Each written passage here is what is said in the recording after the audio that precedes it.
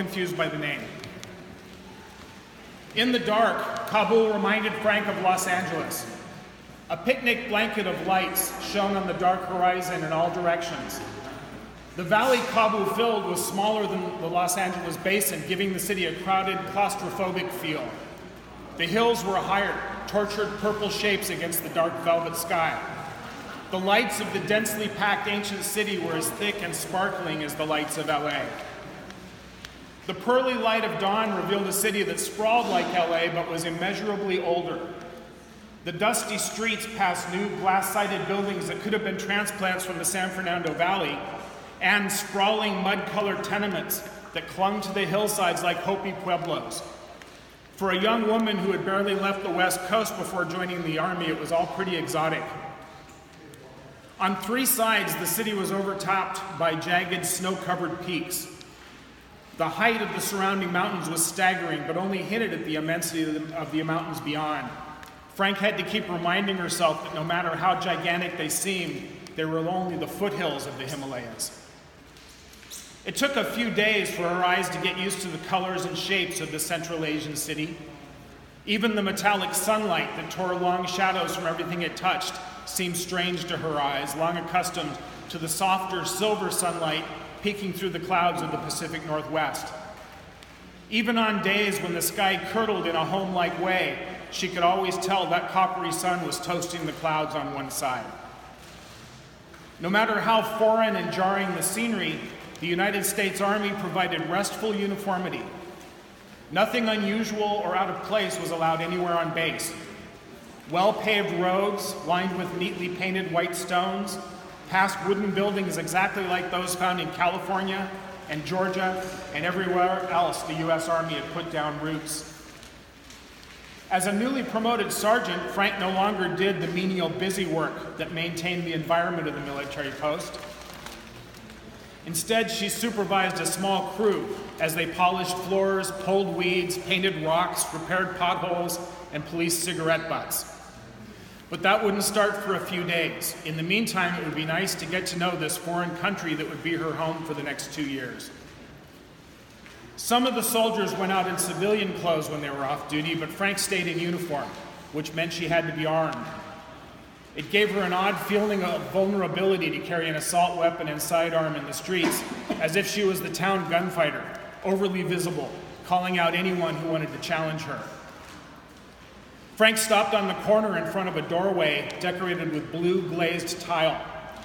She lit a cigarette as she examined the intricate, almost psychedelic pattern of the glazing. Walking with a lit cigarette for self defense had been a habit since her teens, and it always helped her stay calm. A trail of small boys began to gather behind her. She was told there was a brisk market for hand rolled cigarettes and flung longer and longer butts to her favorites. She followed the line of pale blue and green tiles around the corner and seemed to step back in time about a thousand years. Two well armed MPs on duty at the entrance let her know that she was not dreaming.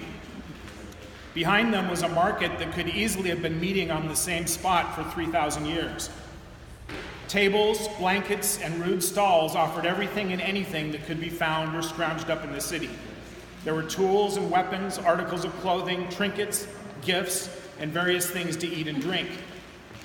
The MPs eyed her uniform and weapon and nodded Frank through, tight lipped and solemn.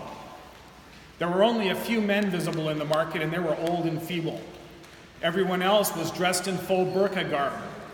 Yards of black fabric concealed every feature. Frank felt like a cat in a flock of crows. When Frank's grandfather had been a young man in the 1970s, Kabul had been one of the most cosmopolitan cities in the world, with the best educated generation of any city in Asia. Then came the Soviets, the Mujahideen, the Taliban, and the Americans. After generations of war, Afghanis had learned to hide. Fundamentalist strictures made it easy to hide, and as long as you provided a veil of respectability, you might be able to maintain a human spirit. The fabled woman's market, full of shadowy, veiled people going about shadowy, veiled errands, provided a clear illustration of the point. The marketers were friendly, and many of them offered Frank samples. Most of them knew at least, at least a few English words, and they liked to tell her the names of things and laugh at her attempts to repeat the foreign words. She was having fun and getting hoarse when yelling broke out behind her. She turned toward the sound and automatically checked the two MPs at the gate. They were both looking in her direction, alert. There was a knot of people between Frank and the MPs arguing and struggling over something. Suddenly, a bang tore at Frank's eardrums, and five or six of the women were flung to the ground. A severed hand with most of the forearm attached flew across Frank's field of vision. For a moment, her brain told her it couldn't be real, and then she realized the bloody appendage would have hit her in the chest if she didn't move. Frank stepped to the side as the hand flopped to the curb with a wet plunk. Frank nearly threw up as she realized the fingers were clutched around the handle of a suitcase that had been torn loose in the blast. She lowered her head and took deep breaths. Her ears, stunned by the sudden sound, took some time to tell her there was screaming. Frank opened her eyes. The market had been turned into a disaster site. Market sellers, their mouths open in distress, scrambled to salvage their wares and get them under cover. Bodies, strewn around, limp or moving in pain, were accented by bright splashes of blood. The screaming came from a woman whose bleeding stump of an arm was being wrapped in a tourniquet. Ears ringing, Frank looked around for some way to help. A woman sprawled on her back, the black shroud of her burqa twisted to show a splash of green fabric underneath. Frank walked closer, thinking she must be dead in that position. The woman's veil was blown off in the explosion, and her face, visible, turned up toward the sky. Frank was surprised that under the veil the woman wore makeup on her eyes. The heavy black lines gave her face an, a gothic appearance. Frank almost jumped out of her skin when she realized the woman's eyes were open. She was still alive. Frank dropped to her knees. The woman was trying to say something. Frank leaned closer, but the language was meaningless. English? Frank asked hopefully, leaning closer to hear the ragged voice. Hurt, head, me, the woman groaned closing her eyes painfully as a tear left a dark line down her cheek. Frank lifted the woman's head slightly from the gravel walkway. The long, glossy back, black hair was clumped with clots of blood. A patch of scalp was gone, and with it the bone of the woman's skull. Frank could see pink, a pinkish gray mass of exposed brain, bits of gravel embedded in the moist tissue. Frank felt her stomach rise and saliva filled her mouth. She gulped it down. She couldn't lay the exposed brain back on the dirt. She pulled her barracks cap from the loop on her trousers and placed it under the woman's head, gently lowering her. It's going to be okay, Frank said. An ambulance pulled into the market and stopped not far away. The driver jumped out and began shouting at authority at the two MPs. Frank turned back to the injured woman. Her eyes open again, looked far away and dreamy. Her lips weren't moving, but she was whispering words in her own language. Frank hoped they were a prayer. You just stay right here, Frank said gently. Don't move. I'm going to get you on that ambulance and they'll get you fixed up in no time. The woman didn't seem to notice Frank's words. Frank stood up and approached the ambulance where the three men were arguing. Well, then there's no hassle, the ambulance driver said. If there's no American nationals to transport, we can haul any locals that are worth hauling. What do you got?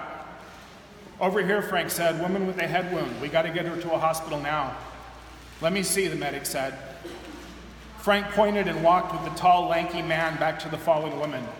He knelt beside her, lifted her head, and whistled before lowering her gently onto Frank's bloody cap. He flashed a small flashlight into her eyes and then stood up. No transport, he said. She's expectant. What do you mean? Frank demanded. If we don't get her to a hospital now, she's going to die. The medic looked at her with a twisted smile. He shook his head. She's going to die anyway, he said. Don't you know what expectant means? Frank looked at the injured woman. It didn't seem right to leave her to die sprawled on the gravel like that. The woman's eyes stared blankly at the sky. Her lips moved now, but her words made no sound. The medic noticed the woman receiving first aid who had finally stopped screaming. You at the tourniquet, he called, get in the ambulance. He looked around. Anybody else? There were no more takers. He took one last look around and called out in surprise. He strode across the walkway to where Frank had been standing when the bomb exploded. I think we're in luck, he exclaimed. He bent down and picked something up. Is this your hand? he called, holding the dismembered hand up in the bright light. With a smile on his face, he marched back to the ambulance with the severed hand and placed it in the back with the wounded woman. He turned to the two MPs who still stood on alert nearby with grim expressions. Would you please inform Sergeant Darling that this is war? He announced in a loud voice. People die in war. Thanks.